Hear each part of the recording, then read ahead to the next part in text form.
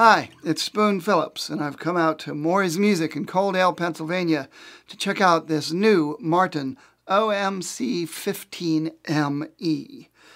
The orchestra model size with the cutaway body made in Martin's Style 15, which is all about great wood made from the mahogany family with back, sides, top, neck, there's a special sound guitars made with a mahogany top that some people really like and other people really love. And the E stands for the electronics inside this orchestra model body, which happens to be the Fishman Matrix VT Enhanced system, which combines a volume and tone control just inside the sound hole, the VT, with an enhanced control on the other side of the sound hole. Volume and tone for the undersaddle pickup.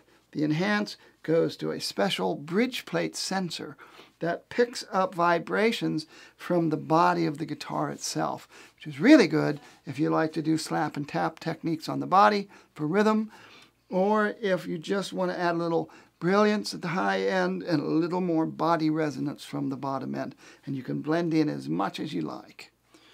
Scott Martin's long scale high performance neck. It's got the traditional OM one and three quarter inch width, but it's only two and an eighth at the 12th fret, so it's a sleeker taper to the fretboard. Why they call it the high performance taper. Sleeker taper than the orchestra models made in the old days.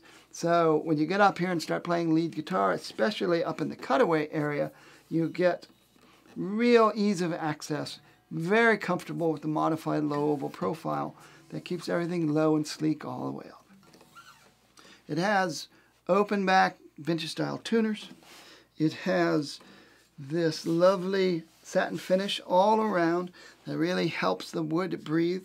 Remember, mahogany is a little denser than the softer Sitka tops, and so usually they take a little longer to break in, but this finish really kind of helps open it up. So does the really light bracing that they use on, for the 15 series, and um, it has this just wonderful, pretty, woody sound to it that, that just always attracts my ear. Whenever I hear somebody playing it in among groups, I'll look over, it'll be a mahogany top guitar. Really cool, and I think you're, you're to really like the sound of this one.